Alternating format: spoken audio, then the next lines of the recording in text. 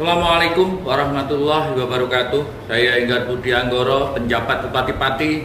Sedulur Pati, kita patut bangga karena tahun ini tepatnya pada tanggal 5 sampai dengan 11 Agustus tahun 2023 Kabupaten Pati akan menjadi tuan rumah event yang bergengsi Pekan Olahraga Provinsi Porprov Jateng yang ke-16 Kabupaten Pati akan menjadi tuan rumah bersama lima kabupaten lain di wilayah Ekskarisidenan Pati, yaitu Kudus, Jepara, Rembang, Blora, dan Grobogan.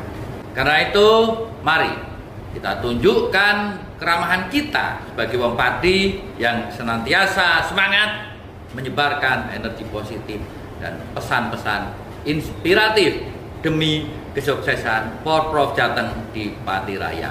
Terima kasih. Assalamualaikum warahmatullahi wabarakatuh.